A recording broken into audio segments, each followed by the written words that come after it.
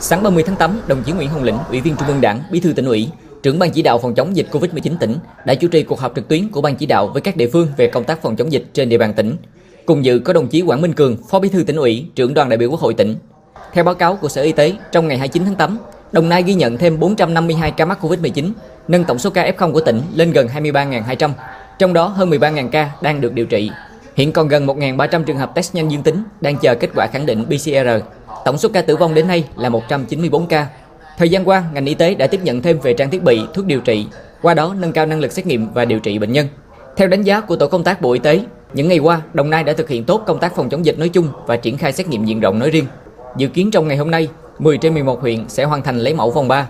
Riêng thành phố Biên Hòa phấn đấu hoàn thành trong ngày mai 31 tháng 8.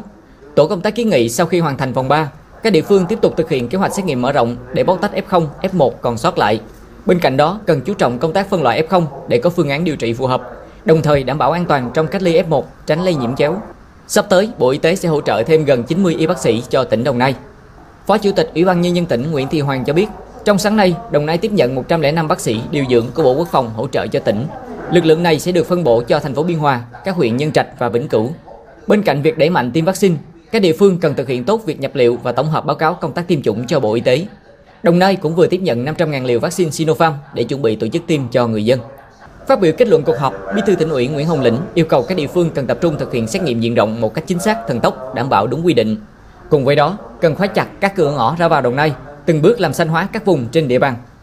Xét nghiệm là giải pháp để chúng ta làm sạch cái vùng trong còn khóa chặt kiểm tra các cái đường đi lối về vào Đồng Nai để chúng ta khóa chặt cái cái xâm nhập từ vùng ngoài hai việc này hết sức quan trọng. Chúng ta phải làm cho bằng được. Từ đây đến ngày 5 tháng 9 vì sao ngày 5 tháng 9 tiếp tục khóa chặt vùng ngoài?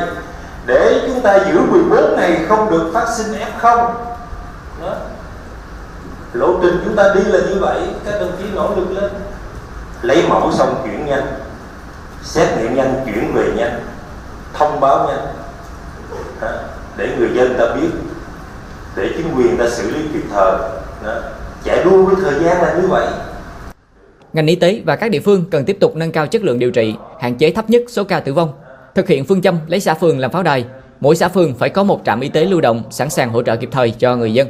Về công tác tiêm chủng, Bí thư tỉnh ủy đề nghị ngành y tế tổ chức tiêm dứt điểm 500.000 liều vaccine Sinopharm ngay trong tuần này. Cần thông tin để người dân hiểu rõ về hiệu quả của loại vaccine này. Công tác tuyên truyền cần được đẩy mạnh để tạo đồng thuận trong nhân dân đối với công tác phòng chống dịch. Trong đó cần mở rộng phạm vi hoạt động, nhân rộng sự tương tác với người dân, đa dạng hóa cách thức tuyên truyền. Đối với công tác an sinh xã hội, Bí thư tỉnh ủy Nguyễn Hồng Lĩnh nhấn mạnh yêu cầu không được để dân đói và đảm bảo an ninh chính trị, trật tự xã hội. Mỗi xã phường phải đảm bảo vai trò hậu cứu cho dân. Nếu thiếu nguồn lực thì báo ngay để tỉnh huyện phân bổ.